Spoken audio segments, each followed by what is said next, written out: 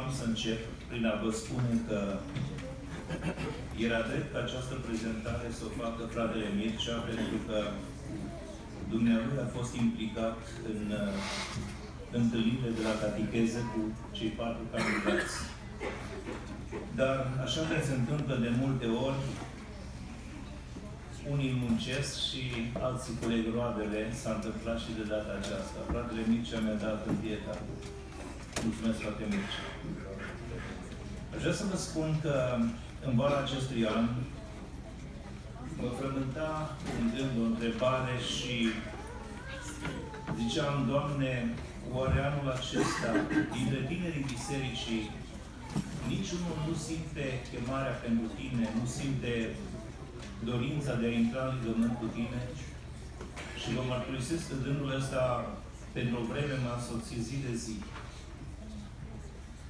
Cred că mă veți înțelege cât de bucuros am fost atunci când într-o duminică seara unul dintre cei patru candidați, fratele Daniel Butar, m-a abordat și mi-a spus, frate Iosif, aș vrea să vorbesc cu dumneata un pic. Și am zis, bucurie. Uite, își căuta cuvintele, aș vrea să, să mă botez. Vă mărturisesc că în momentele acelea mi s-au umplut ochii de lacrimi L-am îmbrățișat ca pe unul din cei din casa mea și l-am întrebat câți ani ai. Când venise în Canada, mi-l amintesc, era un copilaș micuț și îl întreba mereu, Daniel, cum fac lei din groapa cu lei? Și uh, atunci, pe atunci, m-a arătat cum fac lei, încerca să imite.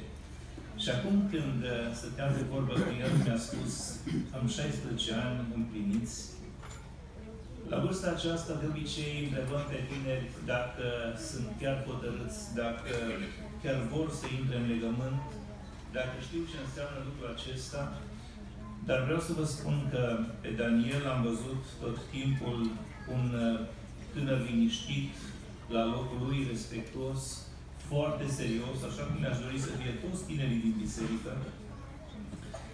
Și asta m-a făcut să să-l accept fără să mai pun întrebări încuietoare. Cu bucurie îl văd în ziua de astăzi îmbrăcat în alb și zic ca Domnul să-l binecuvânteze. El este al doilea din cei cinci copii ai familiei Bucar, fratele Petre, sora Mișoara. Frate Daniel, pentru tine azi noapte la ora 1 aproximativ Aici, la bunul acestei biserici, scriam o dedicație pe această Biblie și îmi face o deosebită plăcere să ți ofer astăzi. Un verset din Scriptură, un verset care spune așa. Luptă-te, lupta cea bună a credinței.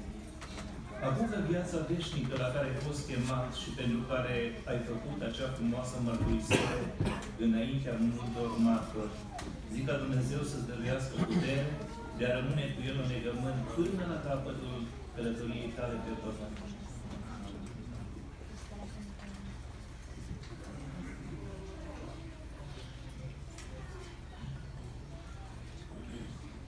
Bucuria de a avea un candidat pentru botez, evident, am împărțit-o repede, am împărtășit-o cu frații din comitet și cu soția mea acasă. Și la bucuria aceasta s-a adăugat încă una la scurtă vreme, pentru că o altă tânără din, o tânără din biserică, sora Andreea Debora Ardelean, m-a abordat într-o seară să-mi spună uh, frate Iosif, și eu uh, aș vrea să închei legământ cu Domnul.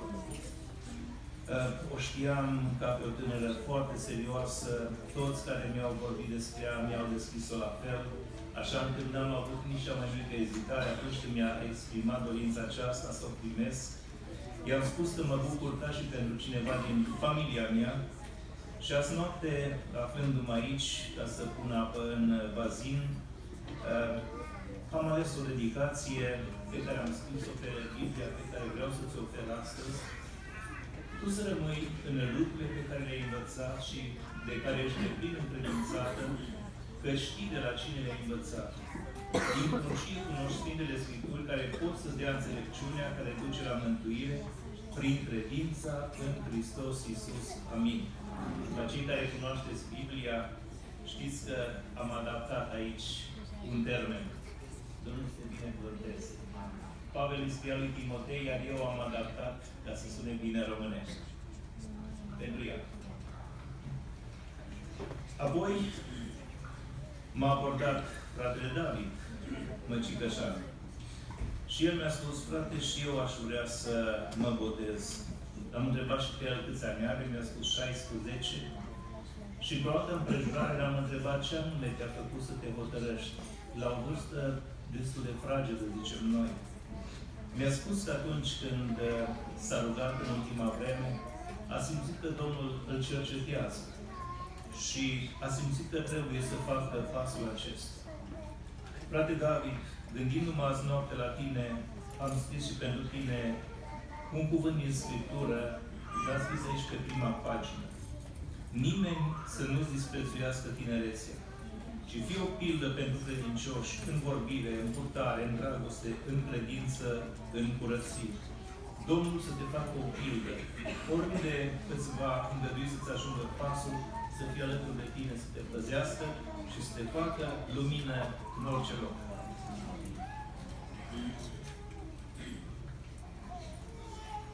Nu mult după aceea, fratele Sandu de data asta mi-a spus, frate Iosif, și fica mea dorește să încheie legământul cu Domnul în apa botezului. Și am vorbit cu sora Damaris și ea mi-a spus același lucru, dar Domnul mi-a vorbit și simt că trebuie să fac și eu pasul acesta. Damaris, pentru tine am scris un alt cuvânt, tot din Scriptură, din Psalmul 103. Bunătatea Domnului ține în veci pentru cei ce se chem de El și îndurarea Lui pentru copiii copiilor lor, pentru cei ce păzesc legământul Lui și își aduc aminte de poruncile Lui ca să le împlinească. Amin. Doresc din toată inima ca Domnul să te binecuvânteze cu înțelepciune, cu putere de a umbla în căile Lui și de a împlini poruncile Lui. Pentru că în felul acesta să știi că vei fi binecuvântată. Amin. Spuneam că voi da loc în continuare corul de fete să mai laude pe Domnul cu cântare. În urma cântării corului de fete, frații Butar doresc să mai laude pe Domnul cu cântare și apoi voi da loc fratelui păstor Nelu Bochean să rostească cuvântul pe care Domnul l-a așezat pe inimă pentru împrejurarea aceasta și pentru nevoile noastre. Amin. Amin.